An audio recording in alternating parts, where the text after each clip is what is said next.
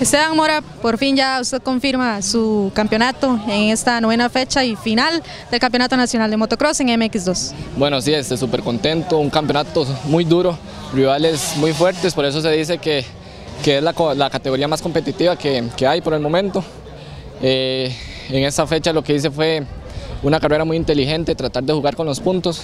Yo sabía que, que ellos iban a ir a matarse y bueno, gracias a Dios sacamos un tercer lugar en el hit y ganamos el campeonato un hit antes de la, de la, final.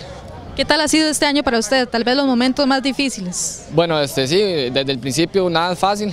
Los entrenamientos desde que se empieza el campeonato son muy, muy fuertes en la bicicleta, en el gimnasio, en la moto. Este, prácticamente solo tenemos un día de descanso en la semana. Trabajamos como ocho sesiones y con respecto al campeonato, un campeonato, una fecha lo ganaba un piloto, otra fecha lo ganaba el otro. A mí me tocó también ganar fechas. Este, también me siento muy contento de ser uno de los que más gane hits.